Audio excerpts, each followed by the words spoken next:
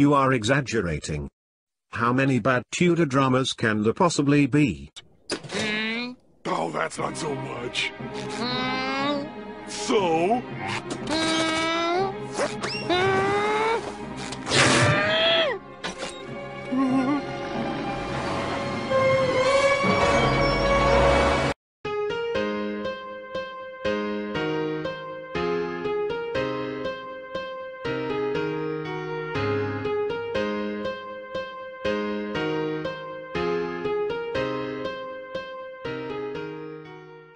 Laughing Cavalier here, presenting to you another tale of these troubled times. Today, we shall be continuing our journey into the world of bad Tudor related dramas, since at this point I am forever doomed to fight against them.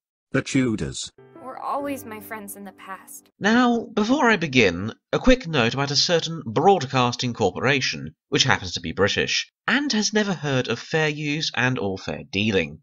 They don't seem to like me including clips in my videos, going so far as to claim one 28 second clip from Elizabeth R that I used in my last Tudor rant video, which was 40 minutes of me talking. Now, so far they have eventually dropped them, but I'm always worried that one of these days they might not be so merciful. And so I have decided that from now on, in my Tudor rant videos, if I want to show a scene from a BBC drama that is longer than about 5 seconds, I will put up a screenshot and read out the quote. My apologies for this, but if said corporation bothered to look at things like context, or hell, actually read the big paragraph I write when I counter their claims, then I would not be doing this. I will still be using longer clips for the Six Wives review and keep fighting those claims off, but I hope you can see why there is such a large gap between my proper movie reviews. And of course, make sure that you like the video and subscribe to my channel before you have even had a chance to formulate an opinion on my video, since every subscriber gets me closer to monetization, where I can potentially make a whole £2 a month. We've got to have money. Now that is out of the way, onto the video. Usually, with these rants, I will look at multiple Tudor dramas, but today we will be looking at only one, and that is The White Princess. So, in effect, this might as well be titled A Review of The White Princess. The reason for this is that there was just so much wrong with this series, the usual 20 minute treatment would not do it justice. Now, if you have been watching my Tudor rants thus far, you'll be aware of my hatred of The Spanish Princess, which is a sequel to this White Princess series. I will say that its predecessors did not annoy me as much in the same way that being beheaded is more merciful than just being slowly hanged, but boy is this one bad. I also watched the entire thing somehow, so that will hopefully explain why I have a lot more stuff to cover. Since I have a lot to go through, I have decided to divide the video into various sections, namely story versus history, authenticity versus history, and a section looking at it as a drama on its own, and whether or not it works in spite of its historical flaws. Spoiler alert, it doesn't. And then I'll finish with a conclusion. At this point, I'll mention that I have not read the books this series is based on, although I am aware that quite a few of these really bad plot points are taken from them, and then further confounded in that they are being adapted by people who don't seem to care about history anyway. Now you could say, well, this is historical fiction. To which I will reply, fiction or no, if it claims to be set in the historical time period with historical characters, then it should be as faithful as it can. Otherwise, they might as well have written their own original fantasy story without taking the names of real life people. I enjoy plenty of other series that are historical fiction. For example, By the Sword Divided, which is set during the English Civil War and follows made up characters. But the series did a good job at showing what the era looked like, the brutality of the times, and was faithful to the historical events and authentic to the character and actions of the historical figures that appeared in the show. For me, the mark of a good historical fiction. And by the way, I will be referring back to this point about what makes good historical fiction later on, so my apologies for banging on about it. So, with that, and without any further ado, let us look at The White Princess.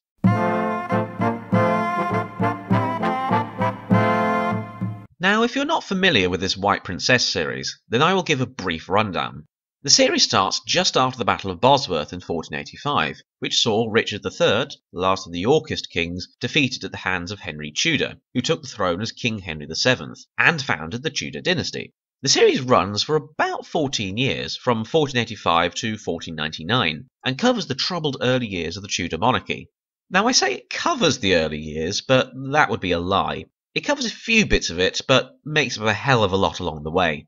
For example, literally within seconds of the start of episode 1, we are greeted with our first major inaccuracy.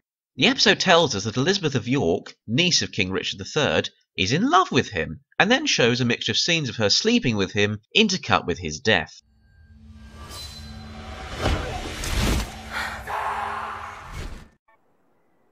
What the hell was that? I'm sure this will be explained in The White Queen, which I haven't yet seen, but Jesus H. Christ, what on earth is that all about?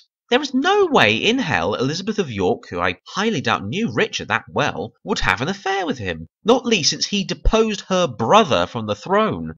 This whole thing seems to be based off of one rumour put out in 1485 that Richard was planning to marry Elizabeth. This was a smear against Richard, and according to the Croyland Chronicle, he denied it publicly. In fact, evidence suggests that he was planning to have Elizabeth married off to the future King Manuel I of Portugal, whilst Richard himself was going to marry Manuel's sister Joanna. Yes, the chronicler Edward Hall claims in his works that Richard was going to marry her, but he was writing several decades later, during the Tudor era, and yes, there is mention of one letter Elizabeth wrote claiming she wanted to marry Richard that the historian Sir George Buck, writing in the 17th century, claimed to have seen, However, the letter has been conveniently lost, and he never produced the full text of it. So you will excuse me, but I cannot take a non existent letter seen by one historian in the 17th century as firm evidence. May I add as well that in both the Croyland and Hall's chronicles, it is Richard pursuing Elizabeth, not the other way around. Seriously though, Philippa Gregory, why do you have so much incest in these things? First Anne and George Boleyn, and now Elizabeth and Richard? That article I reviewed wasn't lying when they said they were trying to make it like Game of Thrones. The butchery of history does not stop there. Not long afterwards, we find soldiers on their way to bring Elizabeth Woodville and her family to the Tower of London. And apparently Prince Richard, the younger of the two princes in the tower, is still alive and hanging out with his mother. It is revealed that they apparently swapped him round, and now here he is. Now, of course, in real life we don't know exactly what happened to the princes, but it is safe to say that they died in the tower, there is no convincing evidence that they escaped, and whilst we don't know for sure, they were not seen again after 1483. So what is this fantasy stuff with Richard being here? Yes, I know this is a historical fantasy novel. I just wish the historical parts were a bit more believable. It gets worse though. Apparently Elizabeth Woodville, mother of Elizabeth of York, is now a witch. Yes, that is right. She is practicing witchcraft and has put a curse on the Tudors. And if someone tells me, yeah, but people claim that at the time, I point out to you that magic is not real. I know she was a main character in the previous series, but by this stage she is really nothing politically.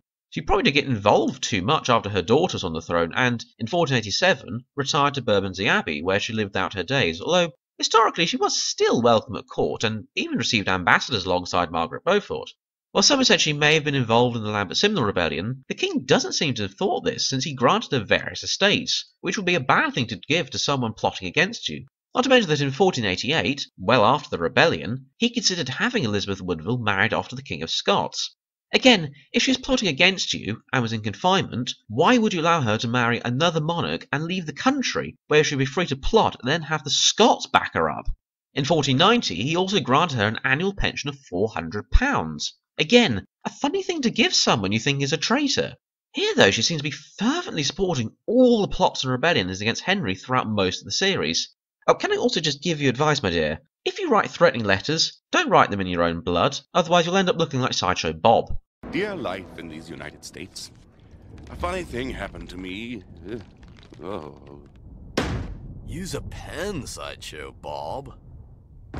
We soon meet King Henry VII, who, whilst he is better than the Spanish Princess Henry, is just written so poorly and feels more like a generic Disney villain at times as opposed to the cunning operator that Henry VII was. The real life Henry was a man who turned a bankrupt and divided kingdom into a stable, prosperous, and successful nation. We get a few hints here and there at this, such as Henry backdating his reign to the day before Bosworth, but other than that, nothing. He comes across as overly cruel, to the point that he basically rapes Elizabeth of York, by the way, I noticed that they declare she is pregnant before she married the king. Historically, they were married on the 18th of January 1486, and Prince Arthur was born eight months later, and is said to have been one month premature. So, if we do the maths, then that is highly unlikely that he was conceived until their wedding night or just after. Sadly, though, this is just the beginning of the butchering of his character. Now, as you can imagine, being a new king during the Wars of the Roses means that you have a lower survival chance than the man getting open heart surgery performed with a sledgehammer. So the real life Henry VII knew he had to marry Elizabeth of York in order to unite the warring houses of Lancaster and York, although he did not do so immediately since he wanted to prove that the crown was his by right of conquest. So he delayed the marriage to the point that Parliament had to petition him, thus making it look like it was his people's desire for the marriage and not his own. Not to mention that Richard III had previously declared Elizabeth illegitimate, so there was an Act of Parliament to revoke and titles to be restored. On top of that, he also had to send to Rome for papal dispensation, and I should note that it finally arrived in January of 1486, with Henry marrying her afterwards, suggesting that this was the main cause of delay. However, whilst some rumours to the contrary flew around, he always meant to marry her, since he had made that very promise before he left France so he could gain Yorkist support. In this series, however, he apparently knows about the made-up affair Elizabeth had with Richard, and doesn't want to marry her at first, even eyeing up the younger sister Cecily. Now, if the real Henry VII had gone and married someone else, all he would be doing would be leaving Elizabeth of York free to go and marry someone else and lay claim to his throne, strengthening his enemies. Not to mention some Yorkists would then switch over, since they had only sided with Henry since he promised to marry Elizabeth of York. I don't understand why they make him do silly things like this when the real life Henry VII was positively Machiavellian and determined to show his own legitimacy to the crown. One way he did this was to go on a progress to the north, starting in March of 1486. When he got to York, there was an assassination attempt, but it was foiled, so it is said, by the Earl of Northumberland. Following this, Lovell, one of Richard III's old allies, tried to start a rebellion along with the Stafford brothers, who, by the way, get mentioned in one throwaway line in this series and are then never mentioned again. Henry, though, was undeterred, and continued his progress to Gloucester and Bristol, the meagre rebel forces melting away before him. The rebellion thus came to nothing, and Henry returned to London, having displayed his power and secured the loyalty of these cities, with York, for example, refusing to support Lambert's Simnel rebellion the following year. The Henry and the White Princess, though, runs off back to London right after the assassination attempt. Compare this to James Maxwell's portrayal of Henry VII in the series The Shadow of the Tower, who says in that show, if we're ever to be safe anywhere in our country, we must be safe everywhere. Well, apparently not this Henry, since he looks like a coward.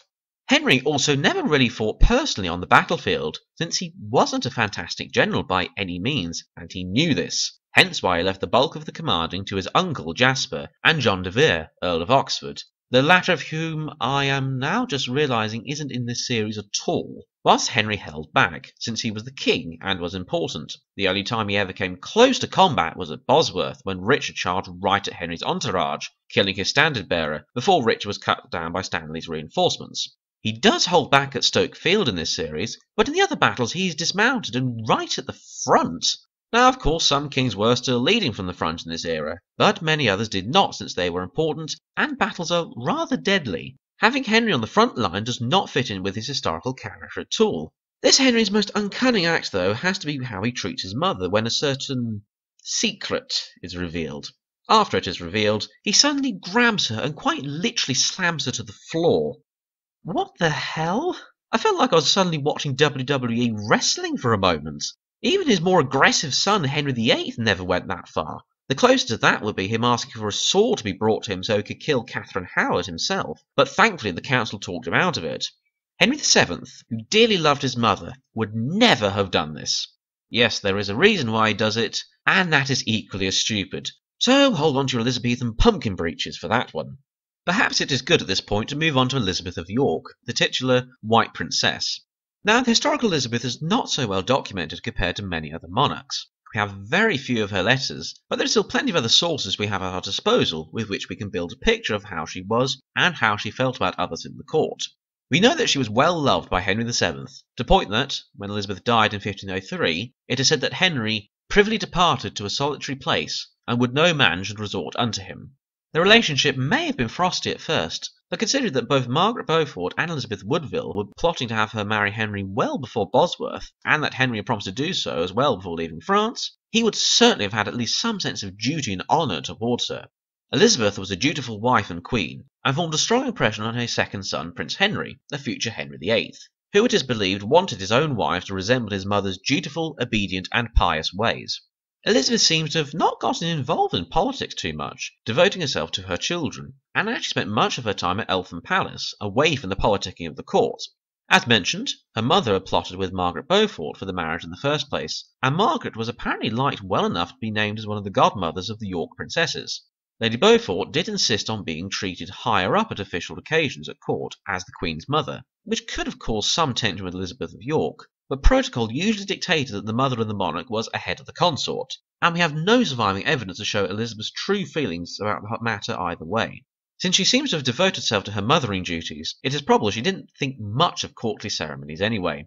Overall, then, we have a dutiful, noble, and loving wife who doesn't seem to have interfered with the day to day running of the country that much. Now, how about we throw all that history out of the window and have us some cat fights and period frocks, eh? Elizabeth of York in this series changes her motivations and personality more often than the Italians changed sides in the 20th century.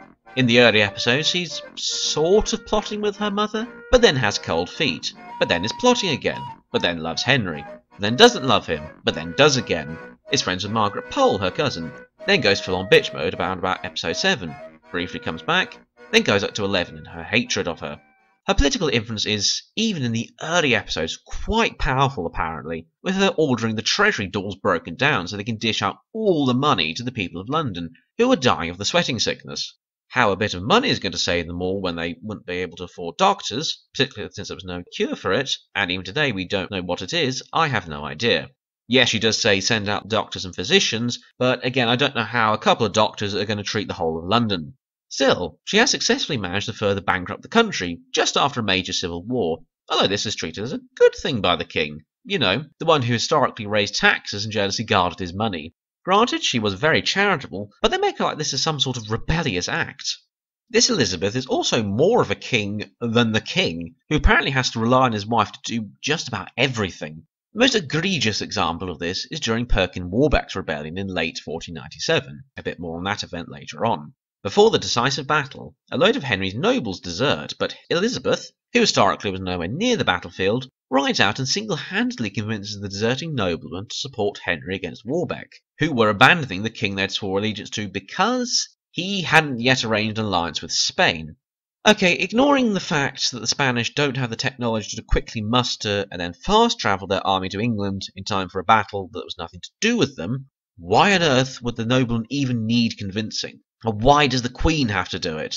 They are loyal to the King first and foremost. They swore their oaths to him. Many of the historical commanders, like Oxford and Lord Daubeney, were his trusted friends, and Henry had won his crown in battle, and deliberately put off marrying Elizabeth so he could show the country that it was his crown by right of battle, not by right of marriage. Granted, you may have had a few Stanley-esque waverers in there, but then in this historical situation, Warbeck had no chance.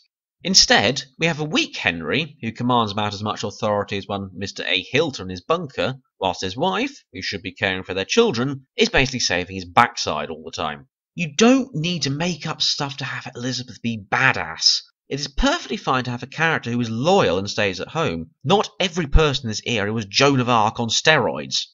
And now on to the character of Lady Margaret Beaufort, the King's mother. Before I begin, can I just ask, what the hell did Margaret do to Philippa Gregory? Did she kill her sainted aunt or something? The real life Margaret Beaufort, whilst a cunning and formidable woman, was not some sort of Cersei Lannister wannabe. Historically, while she did have some influence over appointments at court and did advise her son, she devoted most of her time to fixing church roofs and overseeing religious matters, not plotting and scheming. Now, what do we know about her? Well, she was certainly determined and had some influence, insisting on being put ahead of the Queen and being well dressed, although, as I mentioned, that was usually the protocol, and Elizabeth of York seemed to be distant from the politics. Margaret, meanwhile, appears to have been quite kind to Elizabeth, providing rooms for her to stay in after Bosworth, and allowing her a place in which to meet with her future husband. May I also add that Margaret defended Elizabeth's younger sister Cecily when she went and married a commoner, even providing rooms for her as well, and directly defending her and her husband in front of the king. Hardly the actress of a cold-hearted Rasputin-like figure. This power behind the throne shtick, though, is everywhere. Seriously, she's even sitting on the king's privy council. No, she would not be sitting there, nor would Elizabeth for that matter. The privy council was the king's council. It was there to advise him and was made up of noblemen and other important figures who held governmental positions, like the Lord Chancellor, the Chancellor of the Exchequer, and so on. The Queen's mother and the Queen would not be sitting on his council. It would be like having the old Queen Mother attending meetings of the Cabinet. Yes, but she's been dead for nearly 20 years, I hear you say. Well, don't worry, this series wouldn't mind that at all. Hell, they would probably have her being behind every single political event since the Iraq War if they ever wrote a show like that. And that leads me on to one of the worst parts of this series the revelation that Margaret Beaufort killed the princes in the tower. Yes, you heard that right. Margaret Beaufort in this universe murdered the princes in the tower. yes, I know the ultimate fate of the princes is unknown, but of all the people, of all the suspects, you went for Margaret Beaufort. How on earth would she even have the opportunity to do so? It is implied that she killed them during Richard III's reign. How the hell would she even get into the tower to commit the act? Oh boy, I can't wait to see how the White Queen explains that plot point. Well, they can't make this any worse, I hear you say. Oh no, dear viewer, they can. Remember Henry's uncle Jasper? You know, the one that commanded his armies and was a close adviser to the king and also a friend of Margaret Beaufort? Well, he finds out about the princess and is going to tell the king, so Margaret smothers him to death. I, I, I honestly was shocked when this happened, and I knew it was coming. One commenter on my last rant video told me about this, and whilst I believed them, deep down I thought, no, no, no, they, they must be mistaken. Surely they wouldn't stoop that low. Well, they did. The saintly Margaret Beaufort, who fixed church roofs, murdering her own brother-in-law. It might as well be a metaphor of the series when it's confronted by historical facts. Just smothered them to death. And now we also have the character of Perkin Warbeck. Sorry, Richard Duke of York. Yes, as I mentioned about earlier, he has survived in this series. While some of the real life story of Warbeck is unclear, we do know that he was Flemish and was hired by a Breton merchant who took him to Ireland, since he wanted to see the world, as it were.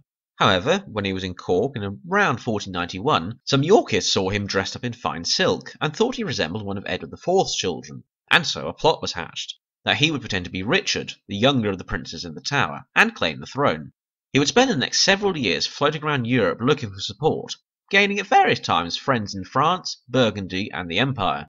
He made his first attempt at the crown in 1495, landing at Deal in Kent with 1500 mercenaries hired from Burgundy. But the whole enterprise was a disaster, with his force being beaten off by the local equivalent of the militia. He then went to Ireland and attempted to besiege Waterford, but failed as well. Now, none of this, save for his foreign support, is mentioned at all in the Miss White Princess series, and is portrayed as a noble figure and the rightful king, whereas the real life Warbeck was rather incompetent at military affairs, to put it politely, and was more of a pawn for dissident Yorkist exiles. When we finally do get to the real story, it only bears a superficial resemblance to what happened. The real life events went something like this. In 1496, Warbeck had gone to Scotland and enlisted the help of King James IV, who pushed south with an army, forcing Henry VII to raise forces and call a parliament to levy taxes to fund it. The Scots advanced in September, but their army made very little headway and fell back once they heard of an approaching force led by Ralph Lord Neville. Soon the Scots made peace and King James IV abandoned his support for Warbeck, who was then more or less forced to leave by James. However, Henry VII's troubles were not over. The people of Cornwall resented having to fund a war at the other end of the country, and revolted, marching towards London and amassed an army of anywhere between 10 and 17,000 men. The king was forced to march with his own army, led by Giles Lord Daubeney, to crush the rebels, which he did with relative ease at the Battle of Blackheath in June 1497. In September, Warbeck landed in Cornwall with a mere 120 men, proclaiming that he would undo the king's taxes, and was able to gather 6,000 Cornishmen to his side. The king dispatched Lord Daubeney to crush this latest rebellion, but as soon as his scouts approached the rebels, Warbeck panicked and fled, and much of his army melted away without a battle, with the rest later surrendering to the king at Taunton. Warbeck fled and was captured at Beaulieu Abbey. Now this series decides to do it really backwards. The basics are there at first. The Scots move south, but fall back without a fight, although for whatever reason the king himself is here again. However, they make out that the real reason why the Scots army retreats is that Warbeck is going to visit his newborn son, I. What? Yes, he was married to Lady Catherine Gordon, but there is absolutely no evidence whatsoever that they had children. Why did you make that up? Well, other than to have Margaret Beaufort murder yet more children. Anyway, moving back to the story. The Battle of Blackheath is actually barely mentioned. All we get is one shot of some people protesting taxes with as much enthusiasm as Father Ted. Down with this sort of thing! Careful now. Down with this sort of thing! This really irks me, since my father is Cornish, and this rebellion was a major event in Cornish history, with over 10,000 men led by predominantly lawyers and men of low birth, managing to get to the very outskirts of London being quite an accomplishment, even if they did utterly fail. yet it is basically glossed over in this series. In reality, there was a battle at Blackheath. Not a bloody one, mind you, with the poorly led rebel army being easily defeated and losing only 200 men to no more than a few dozen of the king's, but it was a fight nonetheless. The Shadow of the Tower portrayed this correctly, so why didn't this series? They then do have Warbeck land and raise his army, but whereas the second Cornish rebellion petered out without a fight, the White Princess does depict a major battle happening. Oh, and for some reason Henry's noblemen are reluctant to fight for him, as previously mentioned. Why did they have to take this really backwards look at Warbeck's various attempts at the throne? The real life Warbeck fled, but this one is suddenly all noble and has a son as well. Considering his reputation of failed rebellions and sieges, the real life Warbeck comes across as something of a pitiful figure. But this one is so convinced of his legitimacy that he constantly goes out of his way to get Henry to abdicate, even right to his face. Now, the real life Henry was merciful, and after Warbeck had confessed to being an impostor, he did allow him to stay at court. They do sort of show this, but they literally have him shoveling dung. The real life Warbeck eventually tried to escape and was sent back to the tower. At this point, it is believed that the Spanish would not agree to marry Catherine of Aragon to Prince Arthur, Henry's son, until Warbeck and the Earl of Warwick were dead. Warbeck and Warwick tried to escape from the tower. Whether this was actually planned by them or secretly encouraged by the king, so he could have a reason to execute them, we do not know. Warbeck was hanged at Tyburn, and Warwick beheaded on Tower Hill. This series, though, forgets the whole escaping thing and has it that Elizabeth of York actually believes he is her brother and tries to save him. I really don't have much else to say about this. Whilst it might make an interesting fantasy what if scenario to have Warbeck be the actual Richard Duke of York, it barely fits in with the history. The real life Warbeck was quite pitiful, if I'm being honest, a pawn in the game of the Yorkists who desperately wanted rid of Henry. He was a useless commander, and every attempt he made at the crown failed miserably. Moving on from the main characters, the series also does this weird thing where the actions and achievements of quite important figures are dumbed down, and in some cases completely forgotten, whilst other characters, mainly Elizabeth of York and Margaret Beaufort, do things that they did not, could not, and would not have done. The main example I will be using here is of John de la Pole, Earl of Lincoln. Now, blink and you will miss him in this series. He's at Henry's court in the first episode, after having fought for King Richard, where Henry pardons him in a rather snarky fashion. He doesn't pop up again until episode 4, when they're parading Warwick around. In the show, they make out this is a big mistake, since the people start chanting their support for him. In reality, this was a very clever move by Henry, since it showed to the world that he hadn't murdered him in the tower, like with what Richard may or may not have done with his nephews, which reduced the legitimacy of Lambert Simnel over in Burgundy, who was pretending to be the Earl of Warwick. What really annoys me though is that, out of nowhere, Lincoln draws his sword, shouts that he's loyal to Warwick and the House of York, kills a few guards, and then dashes off somehow, managing to evade all those guards. Compare that to The Shadow of the Tower, where his story is given the time it deserves. He was a nephew of Richard III, and it was rumoured he was to be his successor. After Bosworth, though, Henry pardoned him. Things started to go sour, though. He felt dissatisfied with his place since he had a lot of influence during the reign of King Richard, which was now gone. When the Lambert Simnel rebellion happened, he secretly left England and travelled to Burgundy to proclaim his support for the Pretender, although he himself had a decent claim on the throne, and it has been suggested that, had the Yorkist forces triumphed, he may have taken the crown for himself. He was the main lead of Lambert's army at the Battle of Stoke Field and died there. That to me is an interesting story to tell, but no, he gets three scenes basically his pardon, his defection, and his death. What do we get in place of this interesting story? Margaret of Burgundy.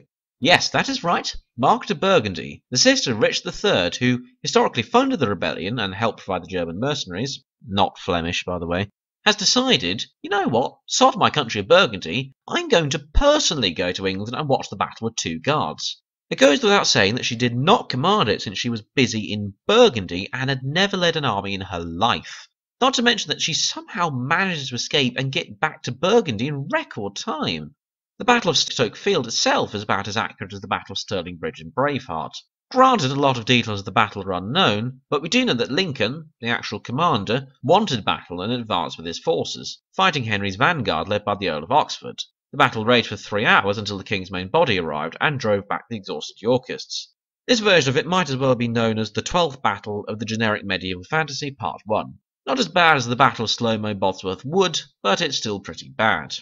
What baffles me with this series is that they basically gloss over and forget other really interesting things that happened during this time period that could have been character building in favour of daft plots about witchcraft, curses, and Margaret Baby Killer Beaufort.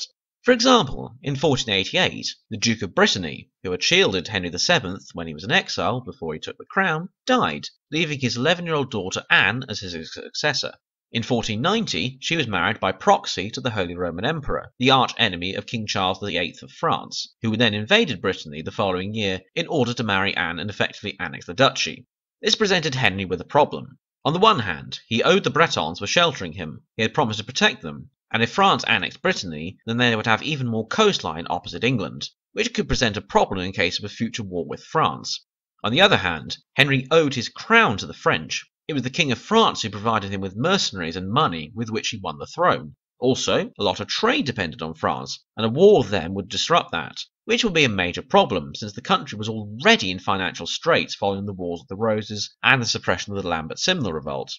His solution, though, was one fitting his Machiavellian character. He did support the Bretons with some half-hearted expeditions that failed, and the siege of Boulogne in 1492, which, as you can see, is nowhere near Brittany.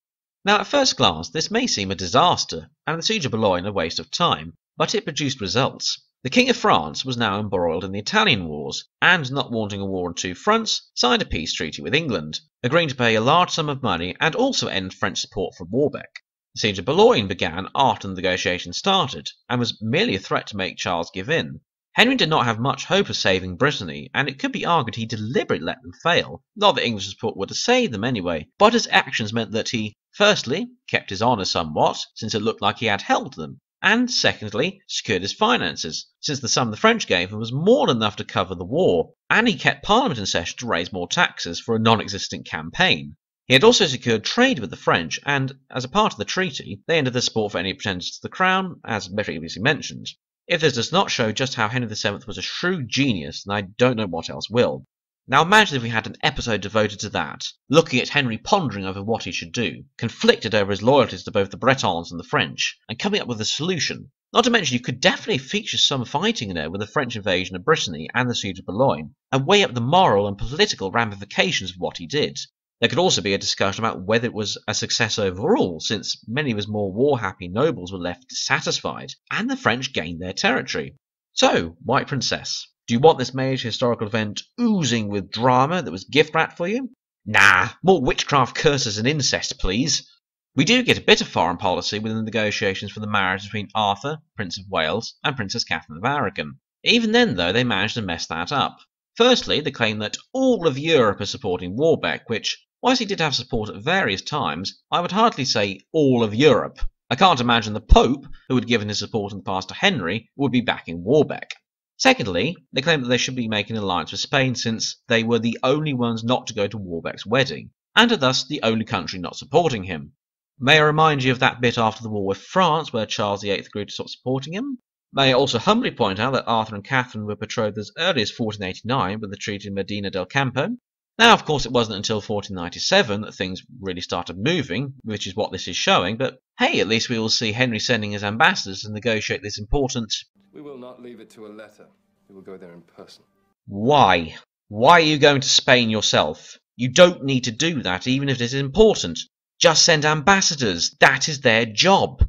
It would take months of arduous travelling across rough seas and a long journey right across Spain. Oh, and in this series, when Henry and Elizabeth get there, what happens? They have one conversation with Ferdinand and Isabella. What the hell did they do to Isabella of Castile? She's only in her mid forties at this point. I don't think she was dressed up like the Queen of Hearts from Alice in Wonderland. A- anyway, sorry. They travel all that distance to have one conversation, or rather, Elizabeth has a conversation with Isabella, since their husbands are either too stupid or too comatose to understand anything. And then they go home. All that effort, travelling and so on for one chat, when you could have just sent someone in your stead. Well, it could be worse. It's not like they left the country knowing that Perkin Warbeck was planning to invade. And when the wedding feast is done, whoever he may be, he wants my kingdom. Oh, okay. Well, at least he didn't invade when they were gone. And he invaded while they were gone. Well done! This is definitely how the real life Henry VII would have done it. The whole plan was positively Bismarckian in his execution. Now, in real life, Henry sent ambassadors to negotiate the marriage since, firstly, that's the point of having an ambassador. That is why we have them now, since the person leading the country can't be in a hundred nations at once. And secondly, he was busy dealing with Warbeck. I don't know why they had to go to Spain. I mean, if he was so desperate to have a scene filmed there, just have a scene with the ambassador going there and having a meeting with Ferdinand and Isabella. Well, at least we do get a look at the Spanish court while we're there. Or we get a really weird and stupid dancing scene with young Catherine of Aragon. Tell me, writers, did you forget that Spain is a real country and thought it was some sort of mythical land somewhere between Narnia and Ruritania? Now, if you thought the film Cromwell had a problem with necromancy, just wait till you see this series. There are several characters that are alive many years after their historical deaths. The worst one has to be Mary, Duchess of Burgundy, who died in 1482, three years before the series even starts, and five years before she dies in the series. Why do they bother adding her? Why on earth do they do that? Well, apparently it was so they could blame Jasper Tudor and Lord Strange, Henry's ambassadors, for her death. The thing is, this really does mess up with the history, since, historically, the death of Mary signalled the effective end of Burgundy, as the French then took over a lot of land, and the reduced duchy was then left with the Low Countries. Margaret was, by 1488, left as regent in the stead of Philip, whilst Mary's widow went back to be Holy Roman Emperor. Philip's son, Charles, would eventually become emperor himself and inherit the whole lot, which then become part of the wider Habsburg Empire. You could have stuck to the history and had her already as a regent, or soon to be regent, of a reduced Duchy of Burgundy, instead of mucking up the timeline just to add a silly plot point blaming the death of Mary on Lord Strange.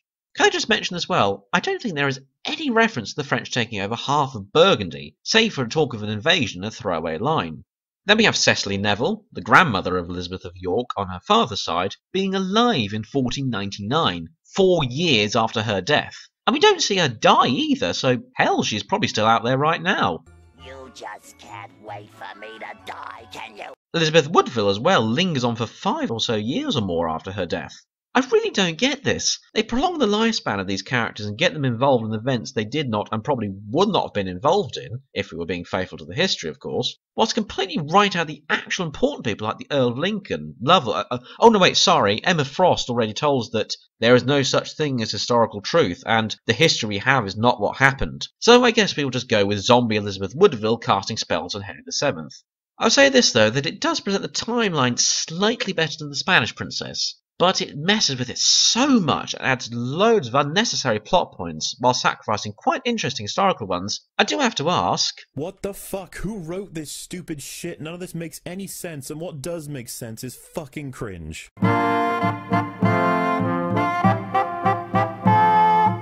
Now, I wasn't quite sure what to title this section since authenticity might be a little vague. But basically, what I will be dealing with in this section is how the characters appear compared to their historical counterparts. The accuracy of the costumes, the accuracy of the scenery, and the general accuracy of things like the language used, ceremonies, and so on. We're going to start with the military stuff. I'm afraid I'm no Lindybeige or Shadiversity when it comes to late medieval armour and weapons, but I will give it a shot. Also, I would advise you to watch my quick rant video about Bosworth before proceeding, link below. Now, some of the armour used isn't too bad, the knights and so on look okay for the late 15th century. It is the soldiers, though, that I do have to moan about. We have no halberds or billhooks, despite these being the most common weapons used, and no livery, save for some Tudor badges, although, granted, Henry historically was trying to get rid of the livery. What annoys me, though, are, yet again, the shields. They did not have these 13th century looking things by the late 15th century. In fact, shields had virtually disappeared from the battlefield, save for some smaller things like bucklers and some large shields like pavises. The only other shields I could find evidence of were these gun shields, used by Henry VIII's bodyguards during his 1513 campaign, and, as you can see, they are smaller and of a completely different style. Not to mention they are pretty much unique to the king's bodyguards in the 1513 campaign. You could have saved a load of money on the budget by not making these crusader shields, you know. As mentioned, the soldiers would be carrying billhooks and halberds, with some men having pikes, so they would not be able to wield giant shields like this and double handed weapons at once. Well, I mean, they could try, but it would be a little less maneuverable, I imagine. Not to mention that many of them are wearing armour, so they are protected. Another thing as well, remember back in the Hundred Years' War that the longbow was kind of the most dominant and famous weapon used by the English? Well, it was still very dominant in England's armies, and most forces would usually have had a very large force of them. Sometimes almost two thirds of the entire army would be longbowmen. Yet there seems to be barely any archers, although at least we do see some arrows at Stoke Fields, which means you're doing better than Bosworth.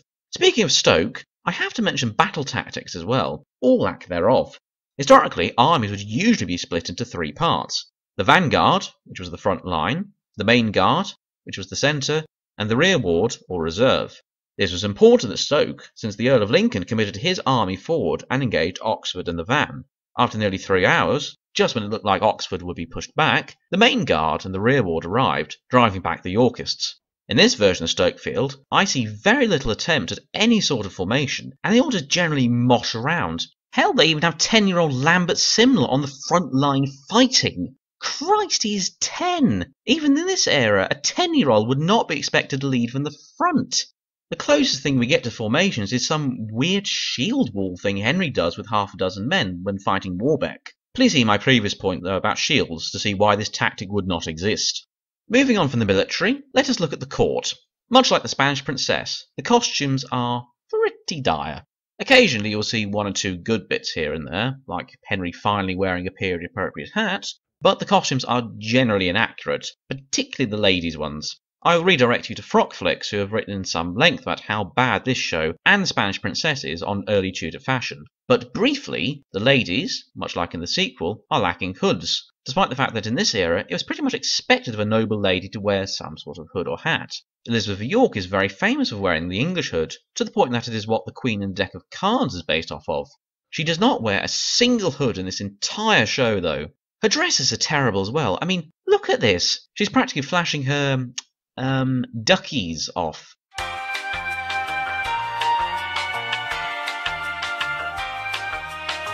Now, I'm sure if you dug around, you could find examples of one or two controversial women in this time period exposing themselves like this, but remember, this is a highly Christian era where modesty was emphasized. Would you really expect the Queen of England to go around walking like this? Aha, I hear you say. There are some costumes in that Shadow of the Tower series that are inaccurate. Yes, some are. Most, however, are accurate, and they clearly tried, whereas in this series they did not. For example, the few women who do wear hoods are quite often wearing ones that are years away, like French hoods, which did not become common till Henry VIII's time. I don't understand. Why can't you just try and make it look like the originals? It's not like there are no existing original portraits or manuscripts to draw from. I'm not saying you have to make a carbon copy of the costumes from portraits, but you could at least make them look like them in terms of style, and still make them in different colours, or with a slightly different cut or whatever, to give your costume designers some freedom. And don't go and tell me it is because of the budget. The Six Wives series had a way lower budget back in 1970, to the point that, according to Glenda Jackson, who was in the Elizabeth R sequel, they were spray painting coffee cups. However, the makers of that series went to the galleries, the museums, and the castles to look at these original portraits. I will link an interview below with the costume designer John Bloomfield. He actually took a whole year to research and make the costumes for the Henry VIII series, by the way. Male costumes are a bit dire as well. I mean, why are these servants in Burgundy wearing the coat of arms of Scotland? This is the coat of arms of Burgundy. The closest thing to this would be the Red Lion of Holland, but they're in Flanders. The sets are also not that great. A lot of them are the exact ones used in The Spanish Princess, so I have already gone into a bit of detail about them in the previous rant. Although I will give them some credit in that they were consistent and that they are at least meant to be the same building, so well done. That does not excuse basic errors, though. The most egregious one, in my mind, is all the blue banners with white roses hanging up in York when Henry VII visits there. Guess what the white rose is a symbol of? Oh, yeah, the House of York, not the city itself. The coat of arms of York are based off of the cross of St George, with the lions representing its loyalty to the king, and has been in use since at least the reign of King Edward III. Why on earth, then, would they be flying the symbol of the dynasty that Henry VII deposed? It would be like Oliver Cromwell decorating his house with royalist standards. Also, correct me if I'm wrong, but I thought the Yorkist banner was usually blue and red with the white rose or the Sun of York. The all blue flag with the white rose is the modern day flag of Yorkshire that was introduced in the 1960s and didn't become the official flag until 2008. In all honesty, though, if the king is visiting, wouldn't you want to display his flag and arms, not the symbol of either the dynasty he fought against or of your county about half a millennia into the future? Also, something I did not notice until just before I recorded this, but when Henry first arrives in London, following Bosworth, Richard's boar with the white rose is still hanging up right above the king. Did no one think to tear that down before the king held court? When the regime collapses, usually you will see the old symbols get torn down. Not here in the White Princess, it seems. A bit nitpicky as well, but did Tudor Gardens really look like this? I see a lot more well kept hedges and flowers when I see recreations of these things. And now on to language. By the way, I am really saddened that this series did not have any lice ridden, filthy actors speaking exclusively in Middle English, since of course if those elements are not present, that will automatically make it a bad drama in my eyes. Now, when I say language, unlike what the writers think, I'm not talking about whether or not they're speaking in the period appropriate language. I've seen plenty of dramas where the characters speak normal English, since that is a necessary sacrifice so people can understand what the actors are saying. What I want when I see a drama is if the style of language used is correct and makes it feel like it is somewhat in the time period. You only have to read the works of Shakespeare, or even just a few letters from the Tudor era, to see how people talked and addressed each other, and the phrases and metaphors they used. For example, The Shadow of the Tower has one of my favourite lines when Archbishop Morton is talking to Richard Fox about Richard Simmons, one of the people behind the Lambert Simnel Rebellion, who they have just captured. Fox asks Morton, how far has this gone, my lord? referring to the plans for the rebellion. To which Morton replies, When the frog croaks, my dear fox, do not imagine that they alone inhabit the pond. The pike, below the waterline, silent, unseen, is far more dangerous and harder to catch. I think that is a wonderful line. I notice that he calls him my dear fox. The reverence in many of the lines in that show made it feel period appropriate. The language in The White Princess, meanwhile, lacks all reverence.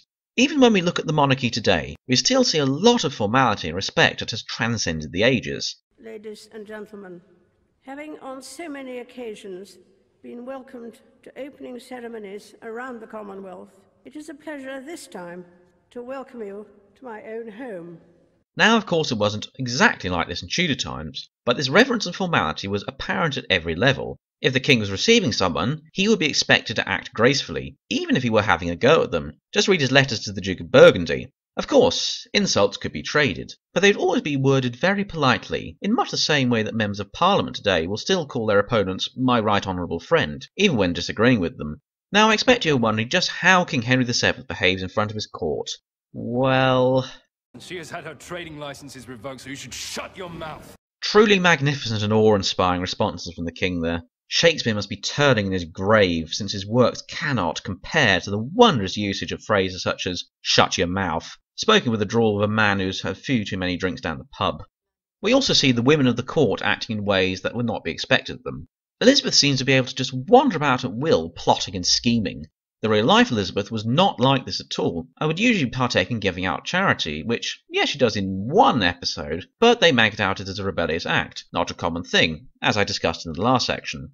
Really, though, the problem applies to the entire court. There was a strict hierarchy and strict rules as to what people would do, so the Queen would usually go off and do needlework, dancing lessons, give out money to the poor and needy, and generally be the kind face of the monarchy, with her ladies in waiting, who, by the way, are absent in quite a few scenes of this show. Whilst the king would usually be busy running the affairs of the country, meeting ambassadors, attending the Privy Council, and so on.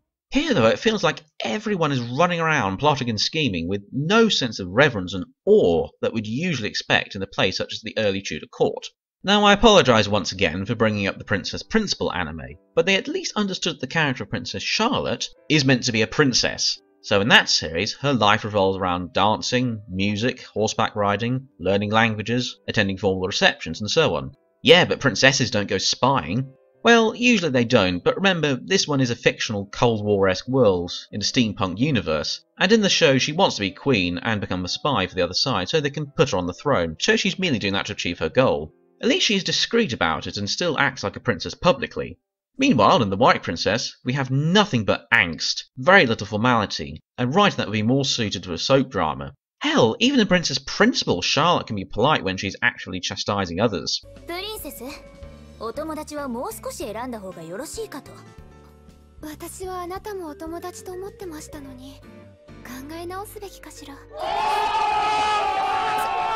まで構いませんわ And the nicknames in The White Princess. Oh my god, the nicknames. I know I mentioned this in The Spanish Princess, but they were even more insufferable in this one. At least Harry, Charlie, Meg, etc. make sense. They're even more off here. I mean, why is Edward Earl of Warwick called Teddy? Was that even a nickname back then? It's not like there are an overabundance of Edwards in this one. Now, some of you will be saying, oh, come on now, you were just nitpicking. You would never do this to those older Tudor dramas you love so much. Well, I will direct you to my series reviewing the 1976 Wives series, but okay, I'll tell you what. I will nitpick a scene from one of the old ones, and then compare it to The White Princess. So this scene is from the 1972 film Henry VIII and His Six Wives, and is meant to be showing the execution of Catherine Howard, the soon-to-be former fifth wife of Henry VIII. First error, there is a Victorian-looking lamppost in the background. Second error, whilst we don't know exactly what Catherine wore that day, we know it was February, and that Chapuis, the imperial ambassador, mentioned that her body was wrapped up in her cloak after the execution, so she should be wearing a cloak of some sort, which was probably black in colour, and it is reasonable to suggest that she would probably be in a thicker black dress, not a flimsy white and blue kirtle, or whatever it is she is wearing. The guards as well look a bit over armoured. They would probably be wearing something like this in real life. Catherine also doesn't say a word in this. She just walks onto the scaffold, gives the executioner a tip, is then blindfolded, and places her head on the block. In reality, she did give a speech where, according to the merchant and eyewitness Otwell Johnson, she uttered her lively faith in the blood of Christ only, desired all Christian people to take regard unto her worthy and just punishment, saying also that she had offended God heinously from her youth upwards in breaking all his commandments, and had offended against the king's royal majesty very dangerously, and urged the people to take example and obey the king in all things. The location is meant to be within the tower, but it was actually filmed at Eton College, and the chapel building here doesn't look anything like the chapel of St. Peter ad Vincula. Finally, there are barely any people present, in reality, whilst it was a private execution, a few members of the Privy Council and some other local officials like Johnson would be there to observe, although, to be fair, they may be standing off screen, since the camera only points this way, and one promotional picture used on the poster does appear to show some people watching. Now, as you can see, that one scene is not perfect, but despite of that it still feels Tudor. The costumes, even if they are not the exact ones worn that day, are pretty period appropriate. Not only that, but it does get a few of the conventions in there, such as the victim tipping the executioner. Some of the other errors I can also understand. The film was barely two hours long and covered the whole of Henry's reign, so they could not fit everything in and often had to condense events, hence why she doesn't give a last speech. I think it may also have been done for dramatic reasons since you have to basically go off of her facial expressions. Lynne Frederick did a great job of showing Catherine's fear of what was about to happen while she tries to stay composed. Now we shall compare it to this execution scene in The White Princess of Sir William Stanley. Firstly, whilst this is a somewhat better looking set compared to the Six Wives film, it is still off, but most importantly, he was not executed inside the tower. He had a public execution on Tower Hill, outside of it. Now, whilst there are some officials here to report to the king, there's really no need since the king is here watching and has brought the family along. Now, whilst your average peasant may bring his family to watch somebody getting beheaded, the king would not. He's busy running the country and certainly would not bring his children along to watch this. This is the Tudor era, not Game of Thrones. Then he actually does give a speech, but I wish he had just stayed quiet because he says, Before I die, you are not a king, nor fit to be one. England rots beneath you. Men weep. So kill me, and you will kill many others after me. Men who will line up to say, Long live the true, able king, Richard. This just flies in the face of history. There was something of a macabre formality with the person's last speech. They would usually proclaim how guilty they were, or, at the very least, how just the king is, like what Catherine did at her execution. They would not openly state, down with the king, since that would then endanger their family. If a nobleman said that, then the king may well decide to punish any remaining family they may have had, in retaliation for bad mouthing him on the scaffold. And, by the way, Stanley did have a wife and children, and even though their estates were confiscated, would you take the risk of leaving your family destitute just to slag off the king? Could you imagine if Catherine Howard, who would probably have known that several of her family were imprisoned in the tower, including her own grandmother, started saying how terrible Henry VIII was? Knowing Henry, he may well have flown to a rage and killed them all, then Stanley doesn't tip the executioner, which, whilst I expect wasn't always the case, was usually a formality, since the person being executed knew that if the executioner missed a stroke, then the execution could be painful, as happened with Mary Queen of Scots in spite of the tip. So it was quite common to tip them to make sure they did a good job. Then he is forced down, which, unless the person was hysterical, they would not do. I will say, at least in this one scene, the costumes the people on the scaffold are wearing are at least not too bad.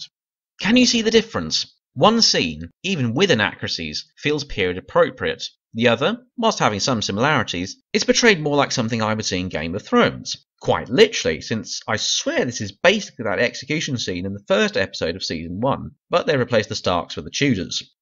Now, some people will say, ah, but this is historical fiction, so it doesn't need to be authentic. To which I will reply with a firm and resolute no.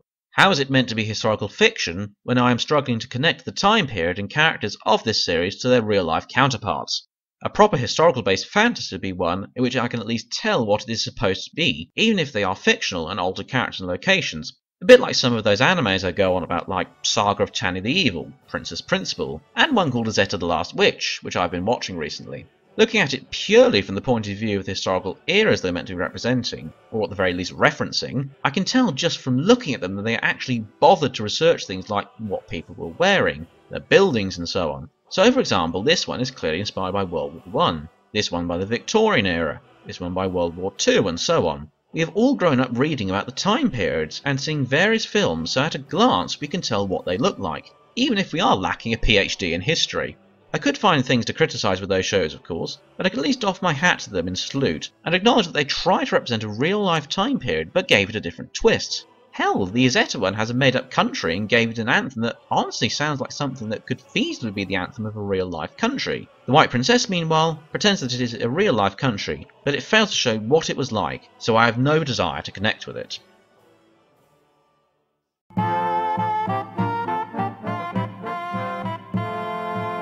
Now, in this section, I may be repeating myself a bit, since I have covered things like the characters and so on in the other parts.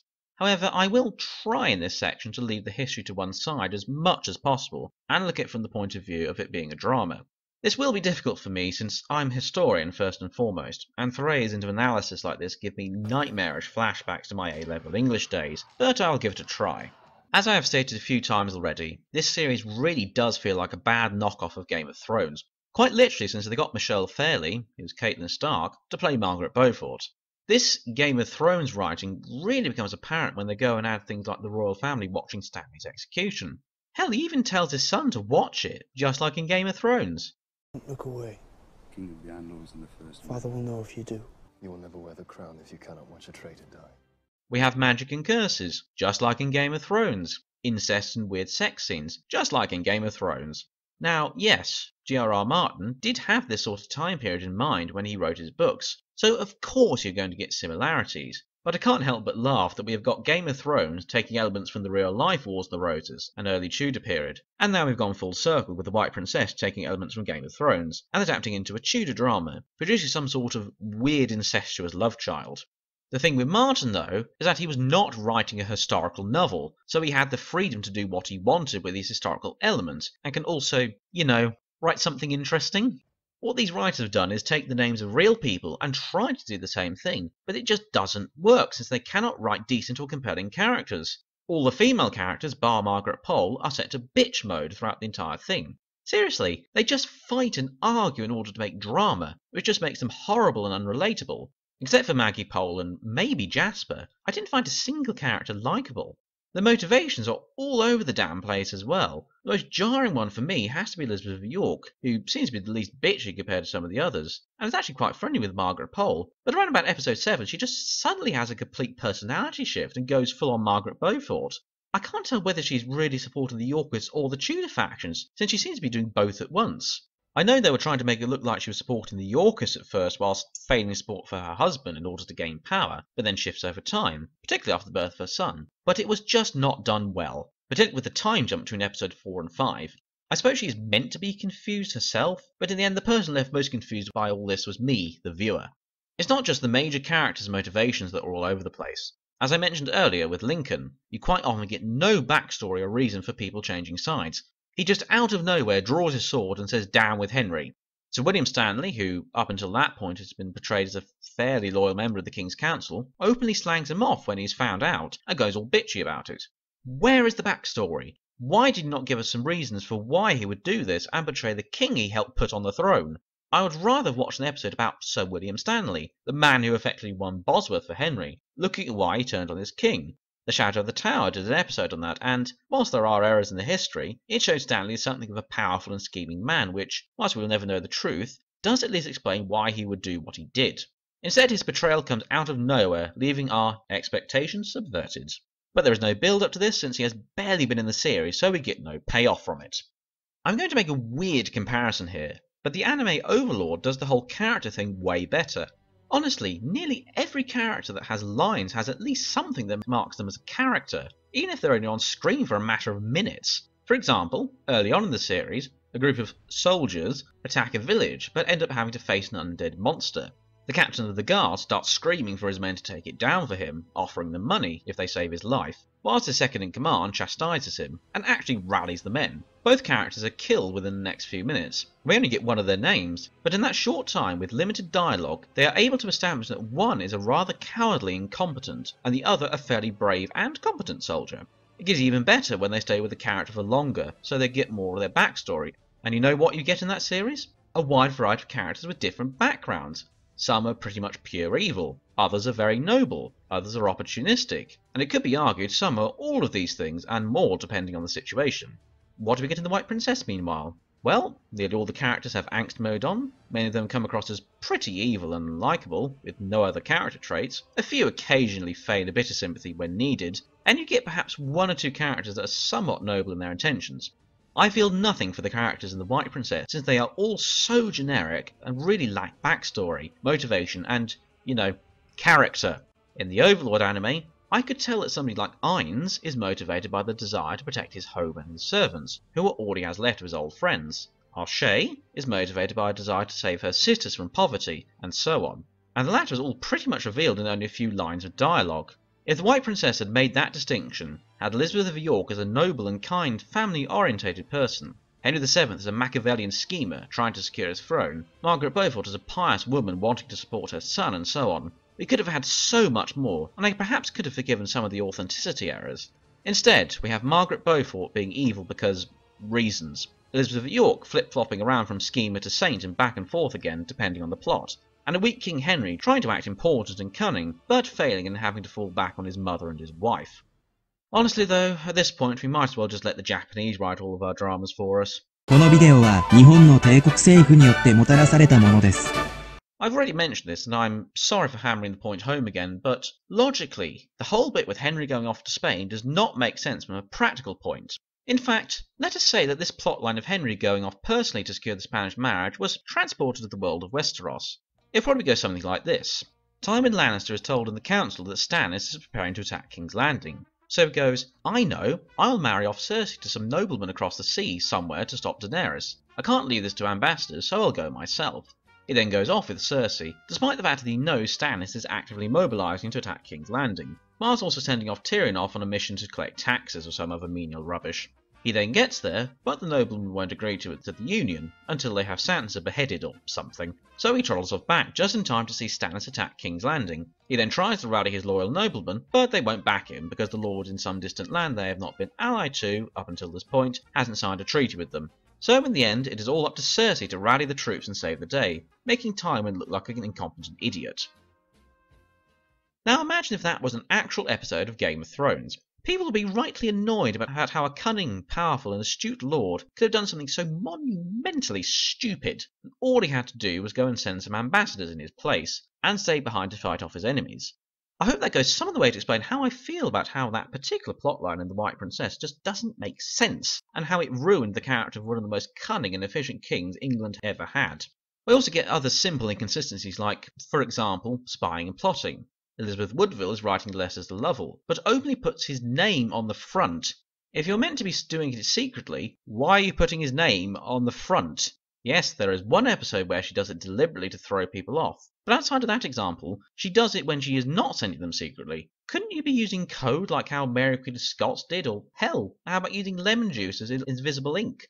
Whilst both examples of that are a bit in the future, I could have at least said, well, it has some precedent and makes sense if you're trying to be sneaky.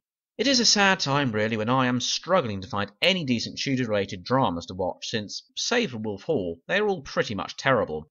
I mean, we've gotten to the point now that I'd rather watch an anime about high school girls driving tanks, and an anime about high school girls spying around steampunk London, and an anime about a guy stuck as a skeleton wizard in a fantasy world, in which two of my favourite characters are high school age girls, and and and and, and I, I'm I'm going to prison, aren't I?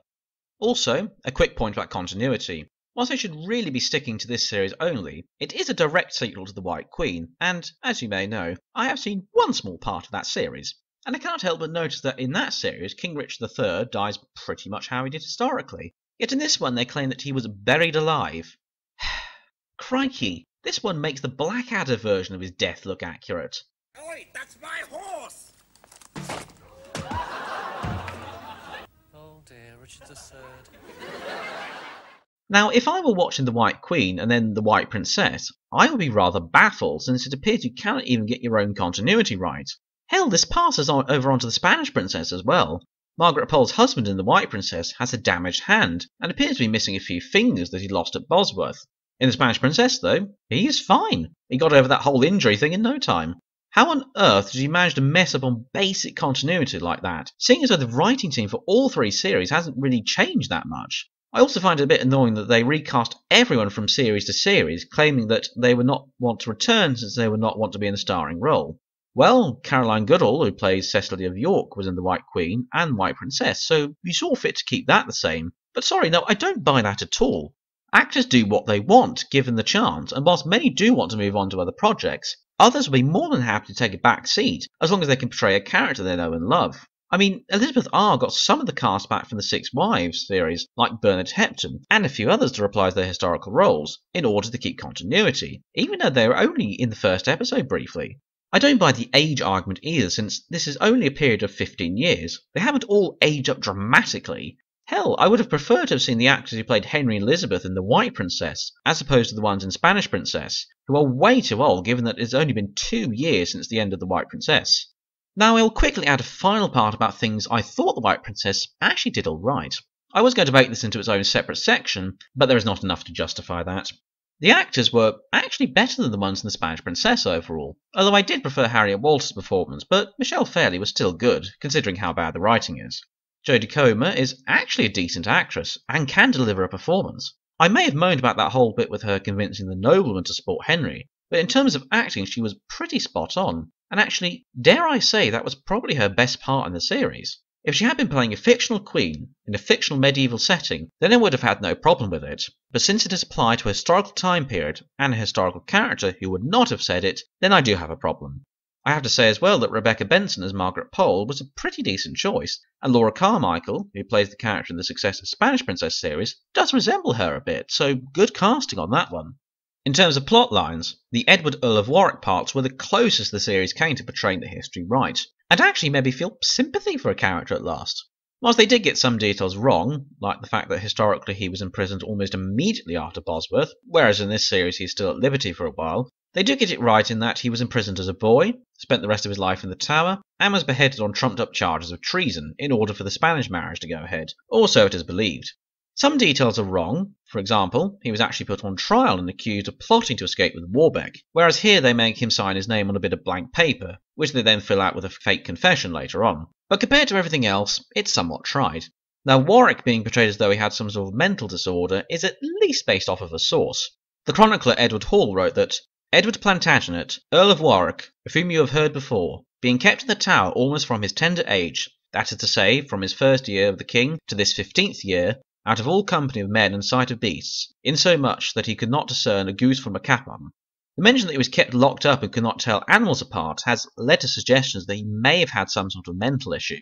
However, Hall was writing, firstly, half a century later, and secondly, he may have meant that he simply wasn't very well educated, which is personally how I interpret it, seeing as though he was well enough to stand trial, and there were laws in place that prevented the execution of people who had been declared insane. Well, at least up until Henry VIII changed that so he could execute Lady Jane Rochford, but that was over 40 years in the future. The point about Warwick, though, is open to debate, so I don't mind it too much. Obviously, there are other inaccuracies, like him being executed inside the tower, whereas he was actually executed on Tower Hill, but compared to the other stuff, I can somewhat forgive this. You also did get a few little mentions of things in there that I appreciated, including Henry backdating his reign to just before Bosworth, which was yet again another great move by him, since it meant that everyone who fought against him at Bosworth was therefore a traitor. Honestly, if we had more of that and a Machiavellian Henry, then I would have been much nicer in my criticism.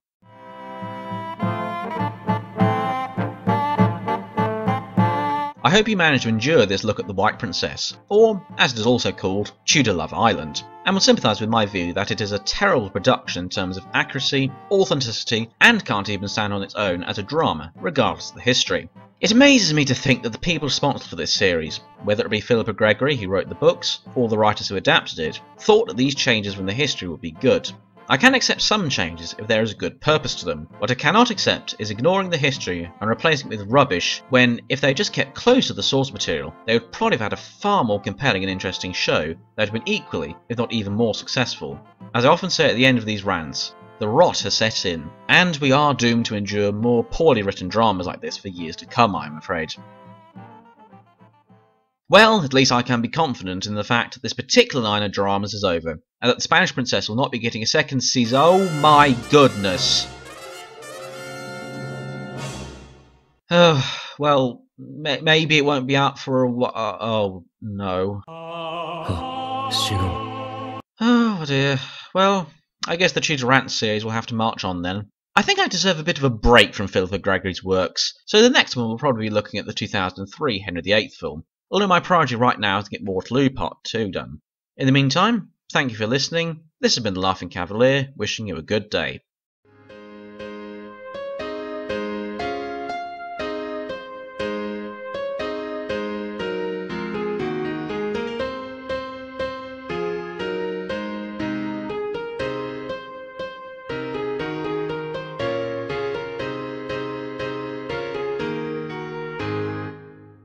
By the way, I'm going to make this prediction about the Spanish princess right now. They're going to add a scene where Catherine will be at Flodden, with her doing a Xena like her mother, except this time on the Scots, possibly even having Margaret on the other side.